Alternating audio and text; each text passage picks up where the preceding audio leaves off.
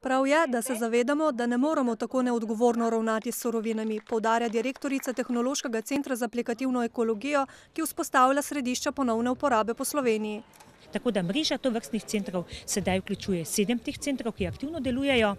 Na našem zemljevidu jih je več.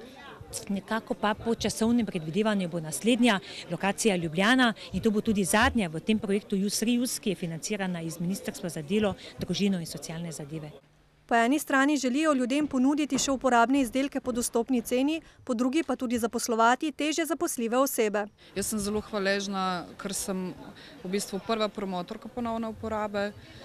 Um, zaposlena kot teže zaposljiva oseba uh, na tem projektu. Pridobila sem zelo veliko izkušenj, uh, delam tisto, kar me veseli.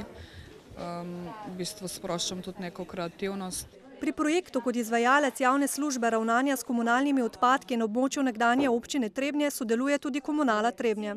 Med odpadki je zagotovo veliko stvari, ki jih je možno popraviti ali pa direktno ponovno uporabiti. Predvsem veliko takih predmetov najdemo pri kosovnih odpadkih. Pri tem računajo, da bo imel pozitiven učinek tudi nov odlog, s katerim naj bi pri odvozu kosovnih odpadkov uvedli sistem na klic.